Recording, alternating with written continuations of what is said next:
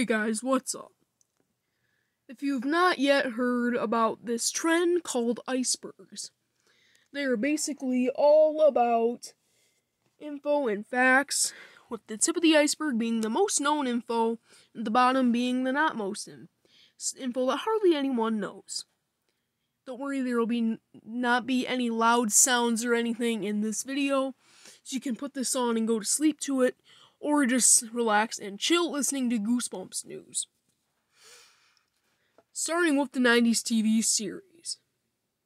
Basically, there's a 90s TV show meant for kids that was on Fox Network, I'm pretty Kids Network, I'm pretty sure, and some other ones. 2015 movie. Basically, this is referencing the 2015 movie and 2017 movie starring Jack Black as R.L. Stine and all the mischievous monsters attacking the, the America. Basically, that's what these movies are about. Goosebumps the movie and Goosebumps Haunted Halloween are the most popular. And the only ones. R.L. Stine. R.L. Stine grew up in Ohio, started writing joke books, made Fear Street as more as more spooky thing, and then he started with Goosebumps. And here we are today, still with many Goosebumps series. Merchandise. Basically, merchandise, anything from Haunted Mask replicas, Slappy Dummies, or basically anything. Basically, just merchandise that either came free with a special book, or just you bought online. 2023 Goosebumps Show. This is basically referencing the Goosebumps show that is on Disney Plus now. Check out my review of the first two episodes. Out now. Second layer. Now we're below the water. Song. The Goosebumps song by Jack Lenz is a popular Halloween song at this point. It was the original theme song for Goosebumps. Originally for the series, too spin off series, such as Series 2000 for the 2000s, Slappy World, Most Wanted, Hall of Horrors, Horrorland, and many more.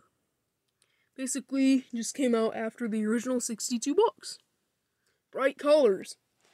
In most Goosebumps books, you'll see Tim Jacobus used mainly bright colors in like the houses and stuff most some colors were dark, but most most colors, at least in the houses and stu- and such, were not.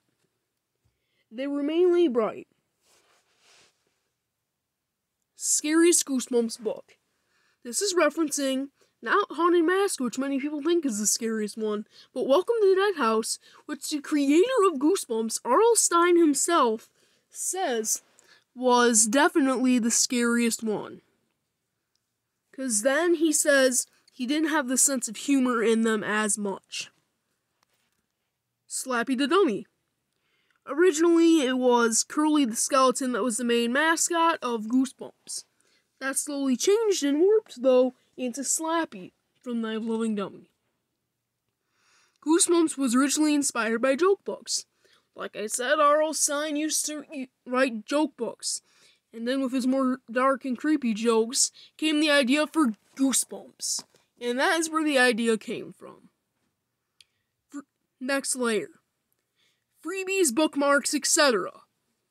Basically, this is just all about those little things you get in the middle of your books, which I still have one that has all of them, but it's very rare to see one like that that has all the trading cards and things inside the middle of the book. Also, you can get them in other ways too, from the internet or from joining the fan club. Tim Jacobus, the artwork maker, the artist, you could say, behind Goosebumps. Very cool artwork, and his artwork was featured almost on every Goosebumps book in all over the world, except in the UK up up till the book The Horror at Camp Jelly Jam. But the UK made their own covers, which were known to be like Microsoft Paint level. They were pretty bad. Um, but they are very scarce at this point. So if you find one, definitely pick it up. reprints. Basically, just reprints of, you know, the original series. And there's reprints of the newer ones, but mainly the original 62 books, there are repre- reprints of. Every time you escape the cuckoo cl- clock of doom, you make a clone. I don't know if this is originally in the book since I have not read it. But I do know that in the original series, in the new 2023 TV series, one of the main characters, let's just say, spoiler alert, ends up basically just let's just say trying to escape the cuckoo clock of doom, but he cannot leave. So he just keeps retrying and trying and trying endlessly, basically. And then eventually he finds out later that every time he tried to escape until he eventually escaped, he created a clone of himself. Then he took hostage. The Biddle House. This is referencing the TV show and the main house that this all these horrors take place in. Monster Blood Green. Tim Jacobus, for referencing him again, when designing the Goosebumps books, never wanted red blood. So for Monster Blood, the book, he used green blood instead of red, because you know that would deter customers most likely, and it would turn people away from the main audience of it, um, which is kids, teens, and tweens, and that would really turn them away. Anything, anyway, blood was more of a Fear Street thing. Legal issues. We'll get to more of this in a second. Slappy magic exists. I have a Slappy dummy. I don't want to cue the evil magic in him, but there are evil words that are used from taken from dark magic. I am pretty sure you can say to bring your ventriloquist dummy Slappy to life. It's very scary. This is just an urban legend, basically. But every review on the internet of one, you, you're when scrolling through the reviews of one, looking for one on the internet, you were gonna see these reviews saying, "Ooh, it's running around my house," and I don't want it wrecking my room. That's why I'm not bringing it to life. Ghost Riders. This ties into legal issues right above it. Basically, legal issues R.L. Stine had because people saying that he hired ghostwriters because he produced the books so damn quick.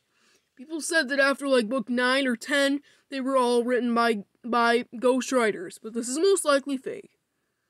The Haunted Mask, possibly one of the most famous Goosebumps books of all time, is based on a true story. Basically, um, it kind of is.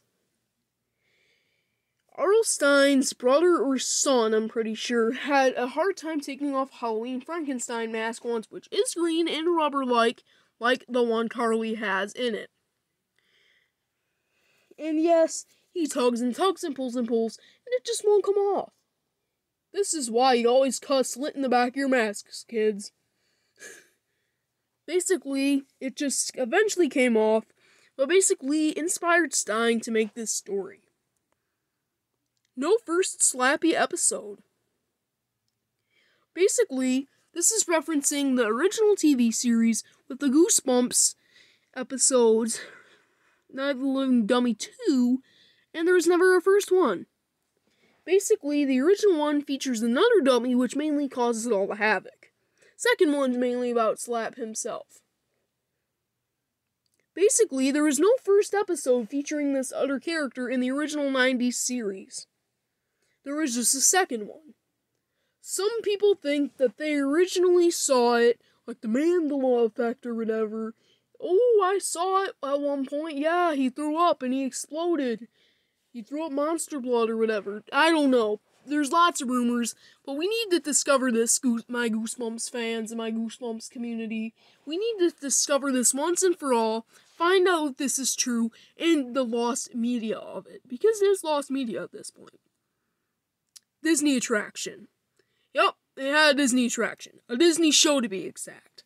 Goosebumps had a Disney show featuring Slappy, Haunted Mask, and more. Werewolf and Mummy or whatever. Basically, it just featured these characters causing shenanigans on a live stage in front of hundreds of guests through its time. Unpopular R.L. Stine books at the bottom of our iceberg. Why it's on the bottom, you might be asking, is because they're just very unknown to people. And that's why it makes it this low on the iceberg.